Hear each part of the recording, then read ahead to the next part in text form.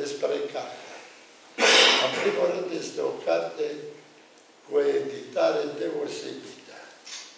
Datorită lui Horia, datorită la alții, la alții, dar deosebită editarea. În al doilea rând, aflându-ne în Muzeul Cazului, este un material documentar scris, bazat pe cifre, bazat pe acte redate în lucrare, care reflectă într-o măsură, chiar dacă e privită sub aspect sindical, evenimentele de după 90 până mai acum.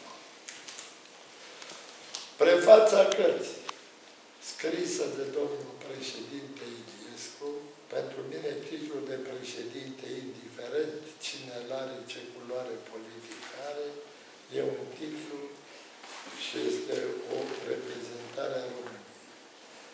Dar legată de prezentarea ca atare, este extraordinar de logică. Și spune, de exemplu, un lucru. Cei care au venit cu privatizarea și la care privatizarea merge foarte bine, nu vă spune și cum ar putea să meargă prost privatizarea. Și prost privatizarea este, de exemplu, fărămițarea, fărămițarea unităților, externalizări și așa mai departe, activități în care gazul metan, fostă o societate puternică, până în 75, cam a doua din Euroasia și cam a treia din lume, și și în continuare a ocupat un loc fruntaș cu tehnologii, cu specialiști deosebiți, cu instituții de cercetare și proiectare de renume și de marcă, a făcut această greșeală ca cum ziceați Necur, fiecare a vrut să fie director sau președinte pe la lui. La am remarcat lucrurile care le aduce autorul la diferite persoane, printre care și Gingașa și sunt convins, sinceră mulțumire adusă soției domniei sale. Cartea are 345 de pagini numerotate, în realitate, cu poze, cu redări, cu putare, în jur de 360 de pagini. Are circa, după numerotarea mea, nu după numerotarea dânsului, 30 de capitole importante, în care, bineînțeles, începe cu 1990. Dar eu vreau să vă fac un fel de prolog care nu este scris la această carte, la care personal nu am contribuit decât cu două chestii.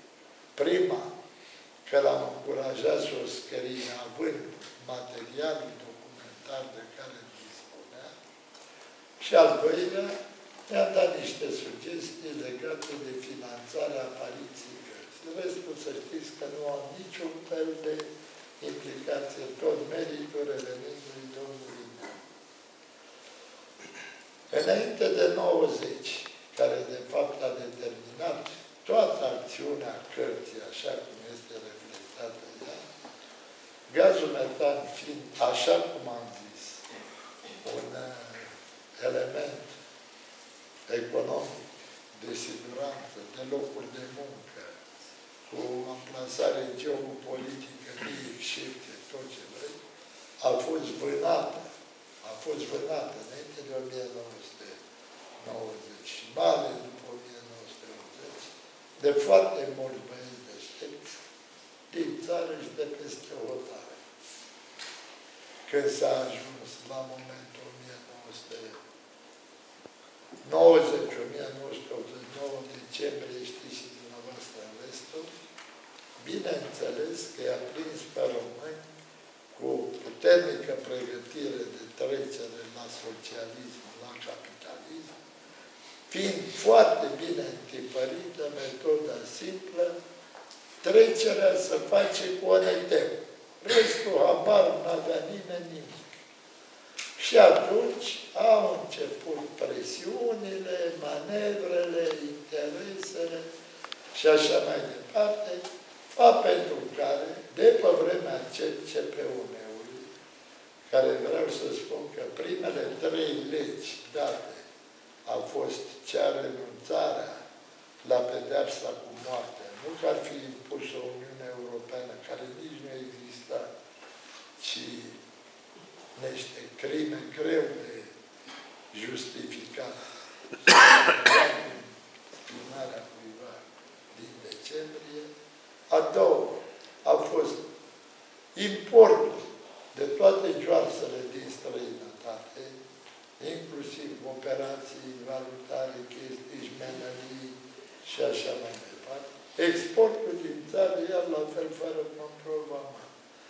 Opere de artă și așa mai departe. Și s-a dat în sfârșit acea hotărâre ca gazul metan, partea de control centrala gazului metan, să rămână pe plantație, în extracție și în foraj cu centrul la medie și toată partea de gândire, partea financiară, transportul și așa mai departe, să fie la București. Bineînțeles, însemnând multe lucruri, printre care și pierderea unor locuri de muncă. Am atras atenția în perioada 80-90. Deci, nu dați din mână nimic. Nu am fost ascultat sau poate nu ați ținut cont de ceea ce am spus sau nu sau nu dați specializarea gazului naturale la București, unde s-a dat prin 78. Până atunci, din specializarea o făceam cu câte un tehnician la schimb.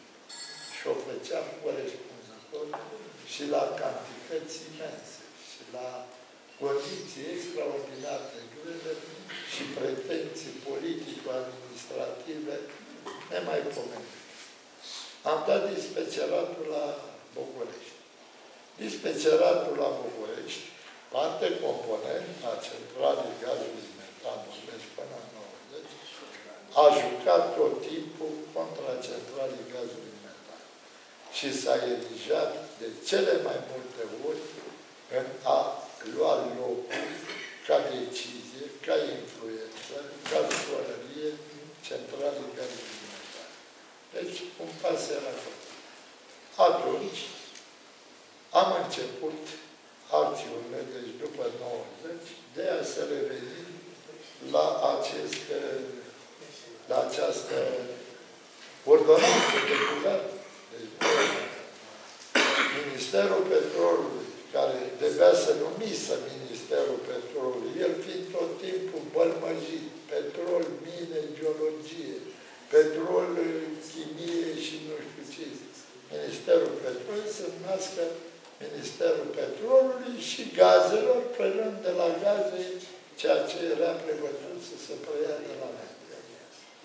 În această acțiune, un sprijin deosebit am avut în activitatea sindicală, domnul Miron pentru partea aferentă intervențiilor sindicale, un sprijin nemaipomenit l-am avut din partea domnului director Niță, singurul director general al Centralii Gazului Mental, ales și nenumit, cum ziceam ieri, de Aiva Ahu, Ivan Buia, Ioan Sulică, nu știu ce ministru de la București, un om bătelnic, competent și foarte cinstit. Foarte cinstit. Cartea, ca atare, cuprinde, pe lângă toți activiștii sindicali, în începând de la simpli membri până la funcții de conducere în sindicat, cuprinde enumărarea tuturor directorilor generali din cadrul gazului metan, a centralei, regiei, pe urmă, gazului metan și așa mai departe. Lucrurile s-au tărăgănat. Norocul s-au tărăgănat. Până la alegerile din Duminica Orbului, cum se zicea. Acum alegerile au fost din Duminica Chiorului sau nu știu ce Rezultat. Vreau să vă spun că a fost cel mai competent, cel mai competent de departe uh, Parlament, adunare constituțională, eu fiind și deputat, cum am fost și senator de alba, deci pot să-mi dau seama și am lucrat și în niște comisii extrem de interesante. Lucrarea de întâmpinare de a nu se desfința gazul metan din Mediaș era la Sever Georgescu, jurist. Care Sever Georgescu, prieten bun și coleg cu avocatul din media, dar el lucra în București, Oliviu Tocaciu, un bărbat superb, frumos, înalt, cu ochi albaștri, blond. Îi ziceau toți colegii germani, transilvanii. Și care era vicepreședintele Comisiei Juridice a Parlamentului, deci care trebuia să dea viză. Și vreau să spun că acest om zace uitat și bolnav la bază, acum nimeni nu bagă în seamă și va trebui să fie băgat în seamă. Pentru că cred că a avut vreo 80% contribuție la rămânerea gazului metan. Acest domn avocat, direct, prin secretarul general al guvernului, prin inginerul Șledinski, pe vremea aia director la BAT, m-a prezentat și mi-a zis meciurile se joacă în Parlament. Ce a făcut, a făcut foarte bine, este un început, dar acolo e bătaia peșteră. Uite, eu vreau să fac un partid, Partidul Reconstrucții Naționale. Am vorbit cu mulți oameni din media și că nu am cunoscut, deci o cunoștea fiind născut în media și, și te rog și pe dumneavoastră, dacă vrei să faci parte și să candidați pentru fotoli în Parlamentul și să după alegerile. Am fost ales deputat, am fost ales pe urmă în conducerea unei comisii care se numea Comisia numărul 1 a Parlamentului și cuprindea șase din actualele comisii și am avut o putere de influență foarte mare. Fapt pentru care, în concluzie, să nu lungesc, am desfințat Ministerul Petrolului și Gazelor, care l-am transformat în regia de petrol, am făcut regia gazelor în media și, și am început activitățile cu mistrii și conducători ai acestei perioade.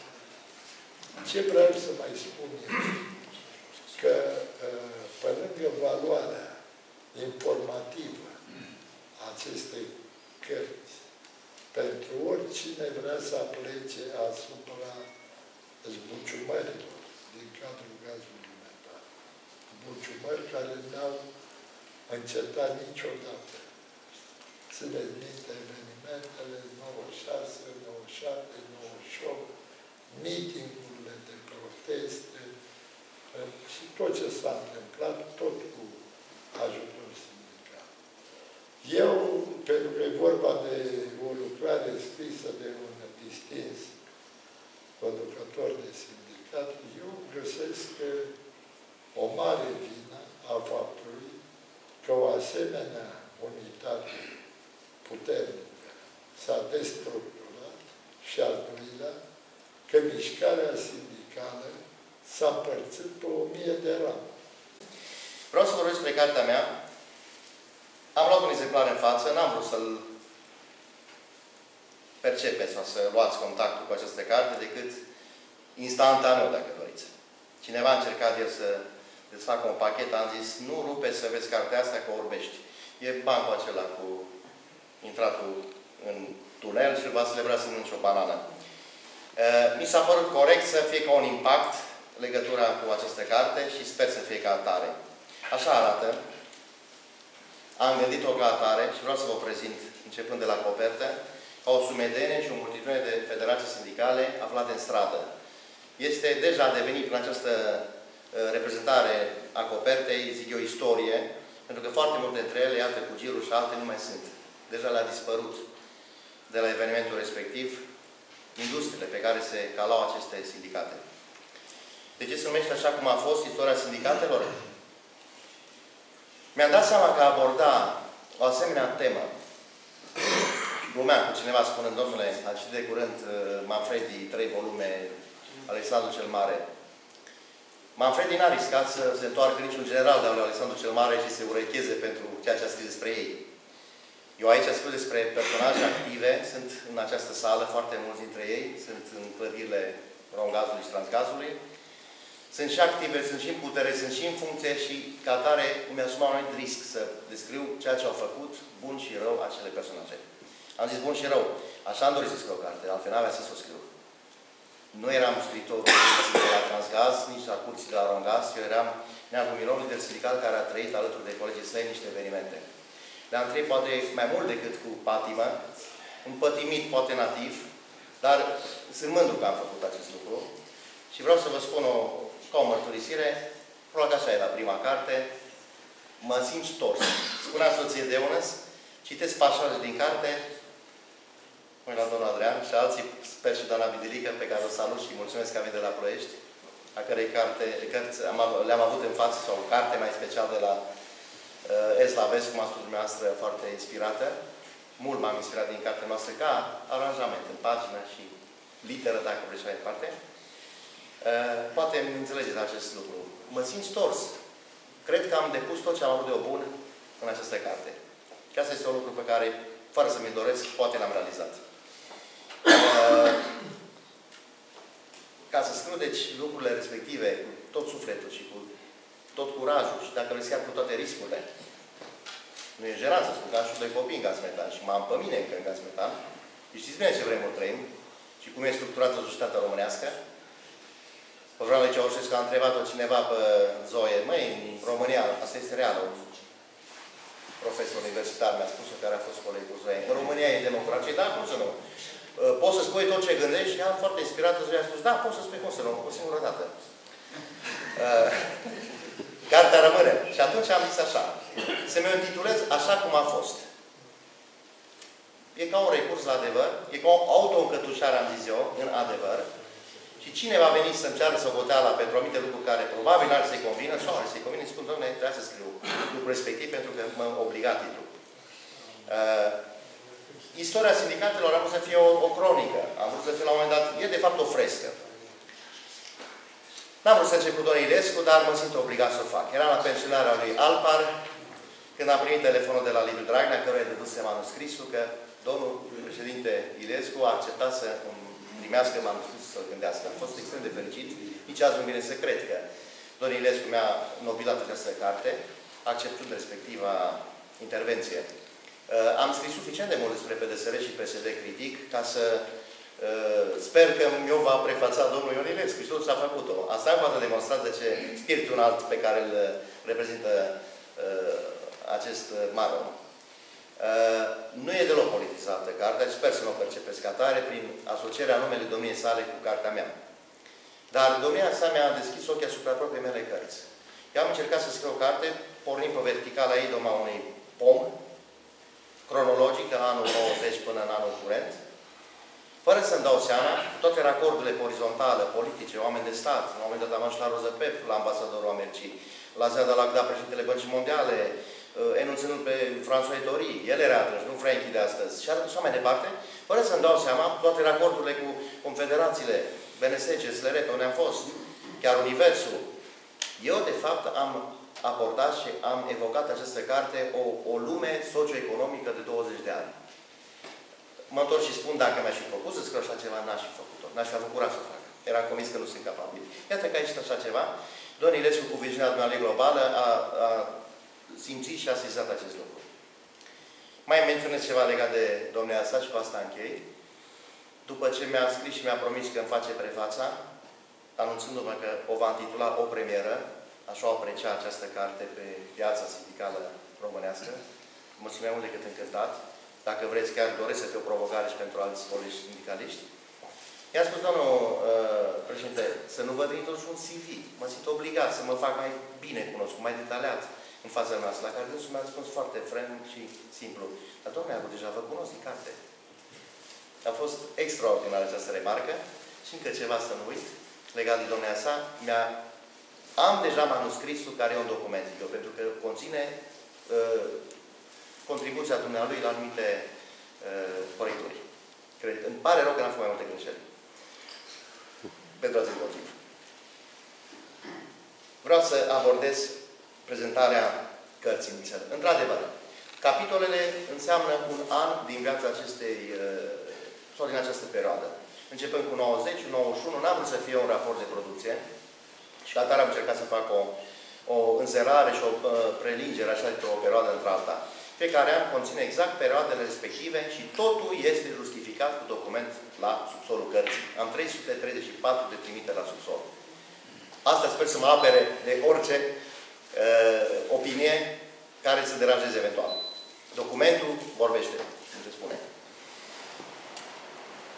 Am încercat să prind în cartea aceasta primele sau primul contract colectiv de muncă cu anexele respective, în care apare patronatul, în care apar lideri sindicali, pentru că este foarte important să știe toate generațiile care au urmat că noi, mulți dintre noi, 54 lideri sindicali și 18 din partea membrilor uh, patronatului, am semnat acel contract, care iată a devenit baza și fundamentul acestor două instituții care astăzi sunt Romgaz și Transgaz și care sunt atât de atractive pentru toți cei care vor să lucreze în ele.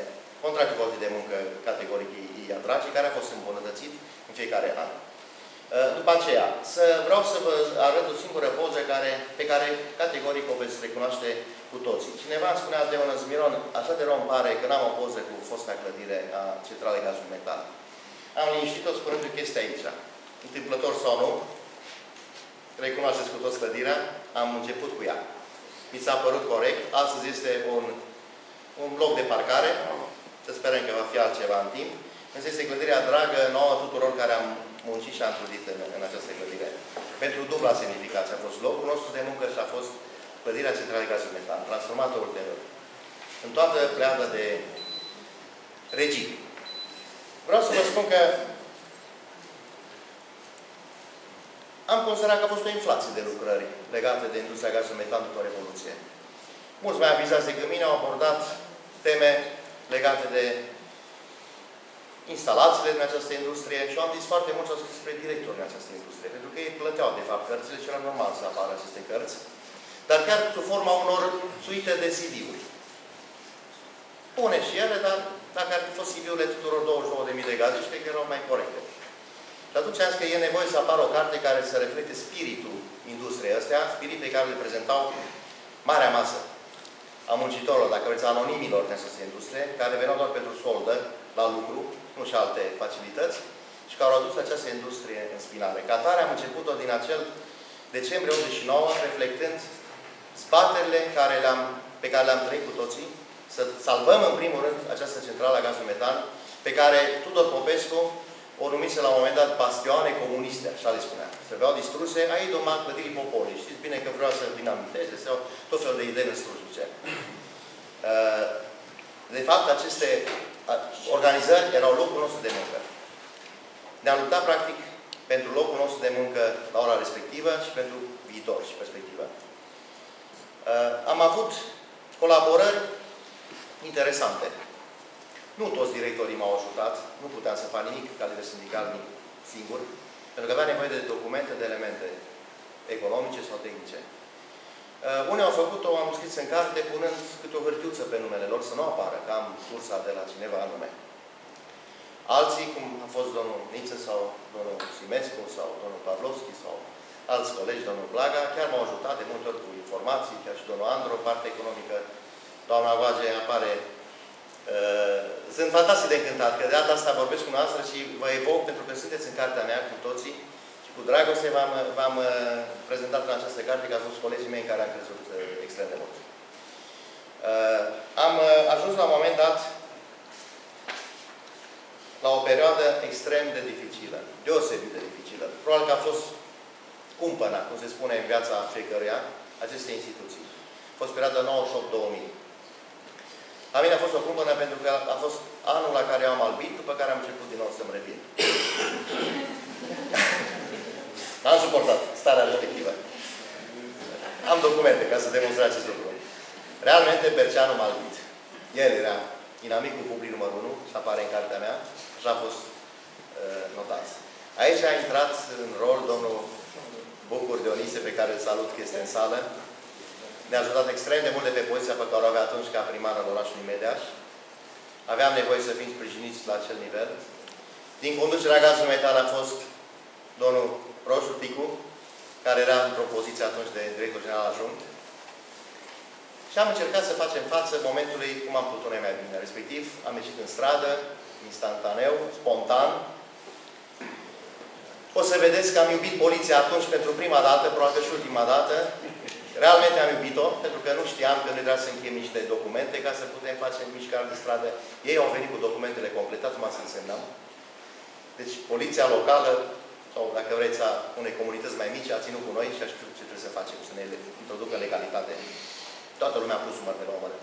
Au urmat miticul din 1 iunie, care a avut două premiere fantastice, premiere naționale numite ca atare, cel puțin de Brăteanu, Matei Brăteanu. Prima premieră a fost că prima dată premierul Radu Vasile a intervenit în direct în timpul unui meeting, acordând dreptate și dând dreptate mitingiștilor. Ceea ce nu s-a mai întâmplat. Peste ani de zile, acum un an și ceva, la meetingul din Piața Victoriei, eram 50.000 de oameni în Piața Victoriei și domnul Bocș își vedea de treabă ignorele Deci, asta e diferența. A doua premieră a fost tot atunci, la acel eveniment, că toate partidele, cu excepția unea, să vă spun ulterior, și-au dat mâna împreună cu sindicatele pentru apărarea acestui oraș. Erau niște lucruri extraordinare, aproape irepetabile. Acel partid de care vă spuneam era PD-ul. Nu era PDL-ul, era PD-ul. Cu totul altceva. Deci spune unul. Eu zic același lucru. Și cu asta nu continui, ca să nu creadă lumea că politizez aspectele. De fapt, tot este politică. Am spus-o și ieri, că de la Burevista încoace tot e politic, să nu ne ascundem după deget. În cartea asta eu încerc să tratez cu toată detașarea aspectele pe care, peste care am trecut chiar cu brio, zic eu. În toate veți vedea că am depășit niște momente care aproape se repetă ciclic astăzi. Unul dintre ele este celebrul caz Michel Carcassonne. Poate vă aduceți aminte, poate nu. Cartea vă aduce aminte. Eu am uh, uh, constatat la un moment dat că domnul Tăricianu, ne, ca ministru, ne impunea un audit care spunea putea fi român sau străin. Deschiderea, democrația și astăzi ne dă această posibilitate să fie străin sau român. Bineînțeles că românul ales era Michel Carcassonne. În mod cer și se va întâmpla astăzi. Frankie cred că a dat deja tabelul cu românii de limbă engleză sau străini care să ne conducă instituțiile. Acest Michel Carcassonne urma să ne facă auditul cu 20.000 de dolari pe lună. În 97, 20.000 de dolari USA, cred că erau echivalent la cei 32.000 de euro care astăzi sunt pregătiți pentru cel care va conduce ca management privat Romgaz sau Transgazul. Iată cum se repetă istoria. Bineînțeles că ne-am opus și acel Michel Carcassonne n-a mai apucat să ia nicio lețcaie de pe spatele nostru. Uh, am vrut să vă spun că am dorit să scriu această carte asumându-mă la un moment dat foarte crud așa, după operație în care am, stăteam în convalescență și mi-am dat seama că odată cu momentul final, practic, să sterge totul ce ai reprezentat, dacă nu lași și după tine. Și atunci mi-am dat seama cât de grav ar fi să se piardă toată arhiva pe care am acumulat-o, ca lider sindical și ca președinte de federație. Domnul Rusu v-a susținut în această clipă, mai simt o mică. Și atunci mi-am dat seama că este foarte important să proced la scrierea acestei cărți. S-ar fi pierdut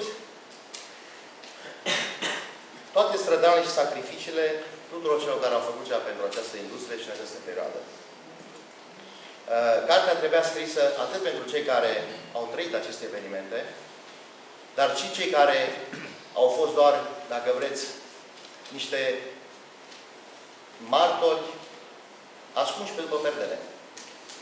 Foarte mulți din clădirea respectivă, din industria respectivă, cam așa au primit aceste lucruri, așteptând să se limpezească apele și ulterior să culeagă roade. Unii însă am dorit să o facem în stradă și am făcut-o. De noi am prins, nu a obligat nimeni. Eu zic că am făcut-o chiar cu brio, sunt colegii mei de lideri de federații. Aici numesc pe domnul Rusu Romulus, Calcatinge Valeriu, Nicu Ștefănescu, Nicu Mărgineanu, care au dus greu aceste federații. Federații care au fost la un moment dat 22.000 de oameni.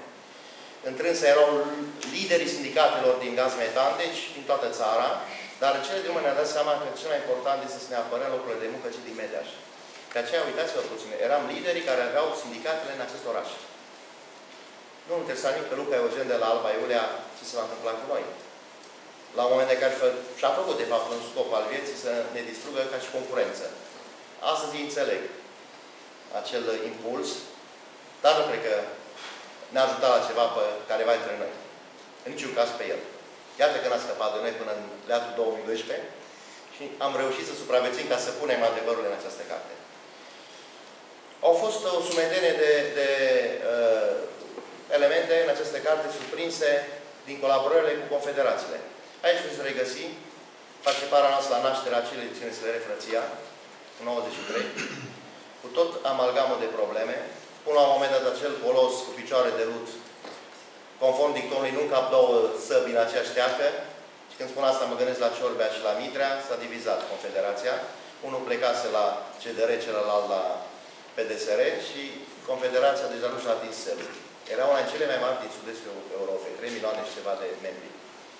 Am trecut la BNS, ulterior, astăzi suntem încă la BNS ca federație pe care o reprezint. Este confederația pe care noi o respectăm și am considerat că este cea mai reprezentativă din punctul de vedere. Am încercat să avem în toată această perioadă o poziție cinstită, corectă față de membrii noștri de sindicat și față de industria pe care o reprezentăm. Am o mare, în carte îmi exprim uh, una mare, o mare deziludere și regret pentru faptul că după 2000, convinși că guvernul PDSR în sfârșit va face ceea ce doream, am ieșit în forță și ne-am cerut ceea ce insistam noi să se refacă, acel holding sau de tip holding, instituția uh, Romgaz, pe model uh, de companie integrată. O să vedeți cum am obținut girul președinției, a Guvernului, a Ministerului de Resort, am avut ședințe AGA, le-am hotărârile toate, am hotărârile Consiliului de Administrație, deci toate cinci forurile ne-au dat dreptate și au conchis că, într-adevăr, este bine și corect și util să se refacă această companie. Totuși nu s-a mai refăcut.